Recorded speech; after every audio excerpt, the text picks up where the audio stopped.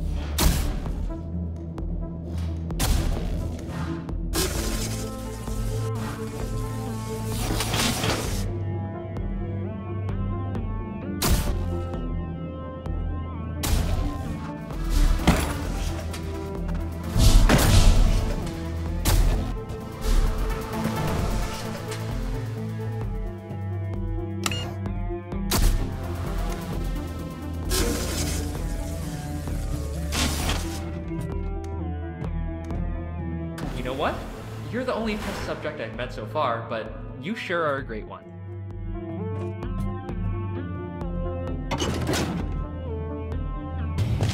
To start preparing for human testing again, I checked an old suggestion box. The number one request less deadly tests. That's ridiculous. How do they know for sure the tests are deadly if they could still write the suggestion?